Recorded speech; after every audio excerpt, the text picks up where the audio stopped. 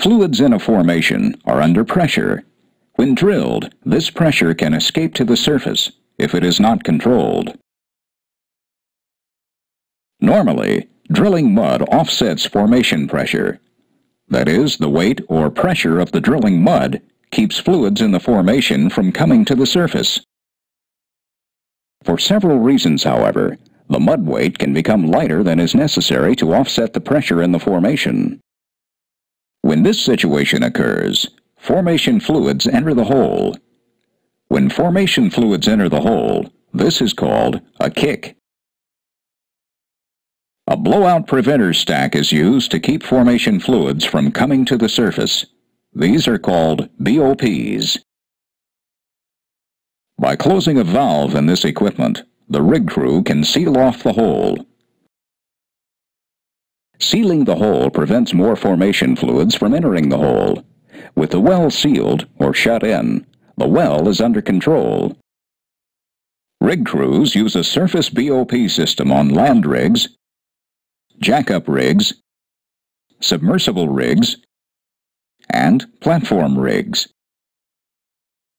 They use a subsea BOP system on offshore floating rigs, like semi-submersibles and drill ships.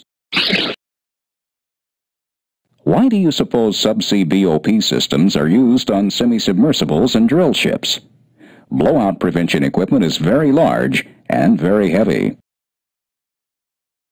Semi-submersibles and drill ships are dynamic, that is, they float and thus move with the wind and waves while in the working mode. On floating rigs, it's not practical to mount the BOP stack on top of the long riser pipe. The BOP stack is much too heavy for the relatively thin and flexible walls of the riser pipe. Also, because the riser walls are relatively thin, they cannot withstand the high pressures that could develop inside the riser when the well is shut in on a kick. So the rig crew mounts the BOP stack on the wellhead at the seafloor and makes up the riser on top of the stack. A blowout is dangerous. Formation fluids like gas and oil blow to the surface and burn. Blowouts can injure or kill, destroy the rig, and harm the environment. Rig crews therefore train and work hard to prevent blowouts. Usually they are successful, so blowouts are rare. But when they happen, they are spectacular and thus often make news. A kick is the entry of formation fluids into the wellbore while drilling. A kick occurs when the pressure exerted by the drilling mud is less than the pressure in the formation that the drill string is penetrating. The mud that circulates down the drill string and up the hole is the first line of defense against kicks. Drilling mud creates additional pressure as it circulates, the mud pressure keeps formation pressure from entering the well bore. On the rig, they say mud keeps the well from kicking. Sometimes, however, crew members may accidentally allow the mud level or mud weight in the hole to drop. This drop in weight or level can happen for several reasons. For example, the crew may fail to keep the hole full of mud when they pull the pipe out of it or they may pull the pipe too fast, which can lower the bottom hole pressure. When the mud level or mud weight drops, the pressure exerted on the formation decreases. If either happens, formation fluids can enter the hole. If they do, the well takes a kick. In other words, when the formation pressure exceeds the weight of the mud column, then the well can kick. To keep a kick from becoming a blowout, the rig crew uses blowout prevention equipment. The blowout preventer, BOP stack, consists of several large valves stacked on top of each other. These large valves are called blowout preventers. Manufacturers rate BOP stacks to work against pressure as low as 2,000 pounds per square inch, or PSI, and as high as 15,000 psi. That's about 14,000 kilopascals to over 100,000 kilopascals. Rigs usually have two kinds of preventers. On top is an annular preventer. It's called an annular preventer because it surrounds the top of the wellbore in the shape of a ring, or an annulus. Below the annular preventer are ram preventers. The shutoff valves in ram preventers close by forcing or ramming themselves together. The choke line is a line through which well fluids flow to the choke manifold when the preventers are closed. Even though the preventers shut in the well, the crew must have a way to remove or circulate the kick in the mud out of the well. When the BOP shut in the well, mud and formation fluids exit through the choke line to the choke manifold. The manifold is made up of special piping and valves. The most important valve is the choke. The choke is a valve that has an adjustable opening. Crew members circulate the kick through the choke to keep back pressure on the well.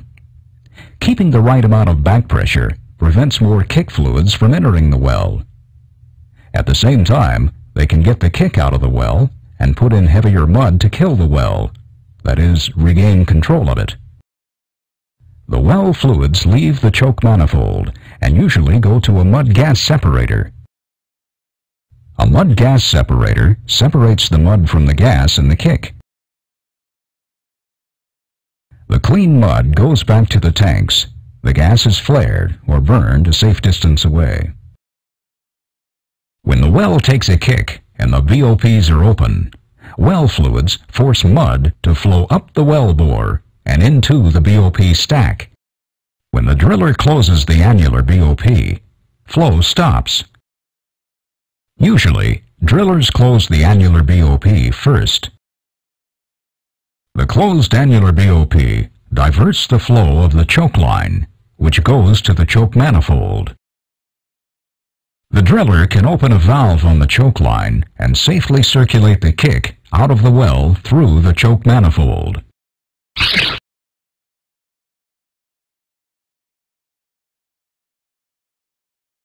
Here's an annular preventer. Click on it to see how it works. An annular BOP closes on drill pipe, drill collars, or any shape of tubular in the well. It can also close on open hole, a hole with no tubulars in it at all. It's usually the first preventer used to close in the well. Here are four types of ram preventers, pipe rams, blind rams, blind shear rams, and variable bore rams. Click on each one to see how the rams work. Pipe rams are used when there is drill pipe in the BOP stack. The pipe rams fit around the pipe, closing off the annulus. Pipe rams back up the annular preventer. That is, in the unlikely event that the annular BOP failed, crew members could shut the pipe rams to seal the well. Also, some pipe ram preventers are used to hang off or suspend the drill string on subsea BOPs.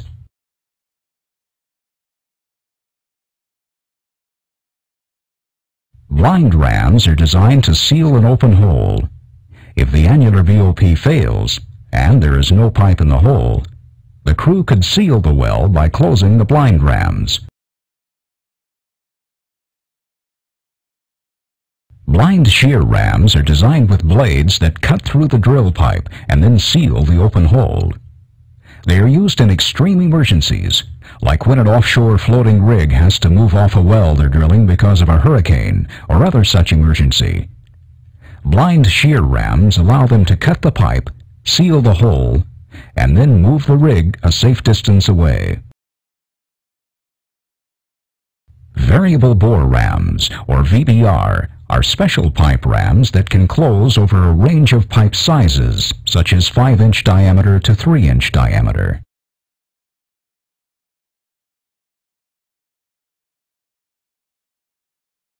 Here are the major parts of a land, jackup, platform, or submersible rig's blowout prevention equipment. The blowout preventer, or BOP stack. The driller's BOP control panel, the BOP operating unit accumulator, the choke manifold, the choke control panel, the mud gas separator, the flare line and flare pit, the trip tank, and drill string valves. Pop quiz. You've just learned the names of the equipment used in well control operations. Let's see how well you can identify the equipment.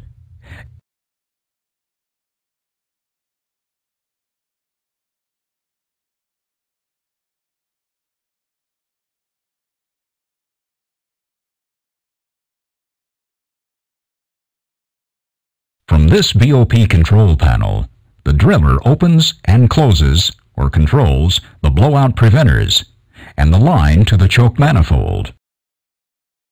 Rig builders usually place the control panel on the rig floor, close to the driller's position. Levers and switches allow the driller to quickly open and close the preventers and other valves in the system. The accumulator bottles store or accumulate hydraulic fluid under very high pressure, up to 3,000 psi, over 20,000 kilopascals. This high-pressure fluid ensures that the preventers close very fast. The BOP operating unit accumulator is installed some distance from the rig floor. When the driller activates the BOP operating unit, it pumps the hydraulic fluid through the high-pressure pipes or lines into the BOP stack. The hydraulic pressure opens or closes the preventers. Usually, the driller operates the accumulator from the control panel on the rig floor. In an emergency, however, crew members can operate the BOPs by using the control valves on the accumulator itself. Here's a choke manifold. Flow gets to it from the BOP stack via a choke line. The manifold usually has two or more special valves in it called chokes. Usually well flow goes through only one of the chokes. The others are backups or used under special conditions. By adjusting the size of the opening in the choke, making the opening larger or smaller, the driller adjusts the amount of flow through the choke. The smaller the opening, the less flow.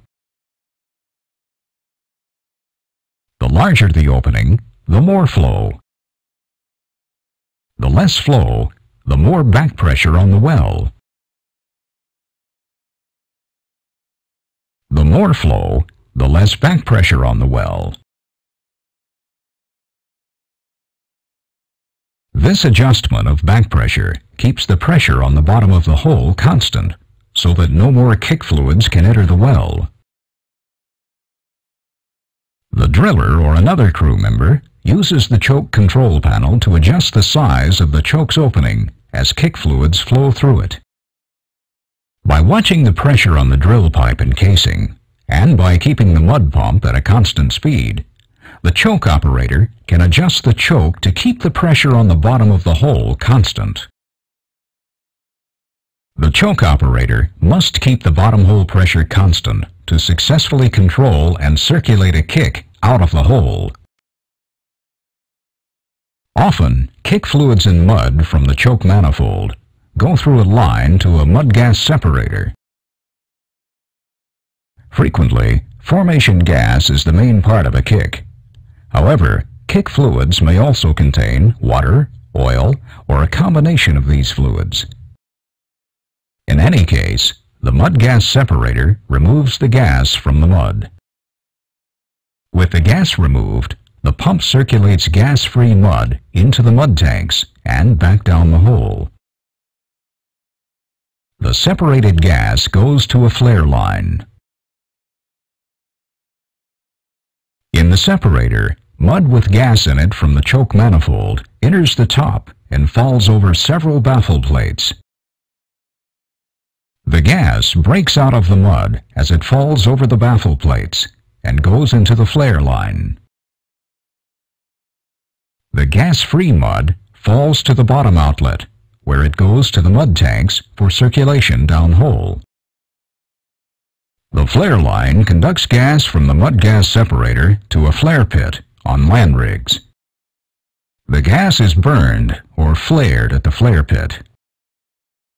Notice that the flare line outlet is a good distance away from the rig floor, so even while gas is flaring, the crew can still safely work on the rig floor. Offshore, where there's no flare pit, the flare line conducts the gas over the side of the rig. The line runs over the water, a safe distance away from the rig. A trip tank is a special mud tank. It is used when they pull drill string from the hole. For example, to change out a dull bit. They also use a trip tank when they run drill string back into the hole. Pulling the drill string and running it back in is called a trip, which is why they call this small tank a trip tank. They use it to keep accurate track of how much mud the drill string displaces in the hole. When the crew pulls drill string from the hole, the mud level in the hole drops. If they let the mud level drop too far, it won't exert enough pressure to keep formation fluids from entering the hole. So, as the crew pulls pipe, they continually circulate fluid from the trip tank to replace the drill string and keep the hole full. They also watch for unusual changes and they make sure that the volume of mud they put in exactly replaces the volume occupied by the drill string. Since the volumes are small, the level of mud in the trip tank is calibrated in small increments, such as stands of pipe, or barrels, or liters of mud, or both. If the volume they put in is less than the volume occupied by the drill string they removed, then it's likely that formation fluids have entered the hole. For example, let's say the crew pulls one stand of drill pipe. In this instance, the stand displaces 0.7 barrels or 111 liters. Therefore, they should pump 0.7 barrels or 111 liters of mud to replace the stand. The mud level in the trip tank should show a drop of 0.7 barrels or 111 liters. If the level in the tank shows less, then formation fluids have entered the hole, and the crew must take steps to control the well. The hole drops. If they let the mud level drop too far, it won't exert enough pressure to keep formation fluids from entering the hole. So, as the crew pulls pipe, they continually circulate fluid from the trip tank to replace the drill string and keep the hole full. They also watch for unusual changes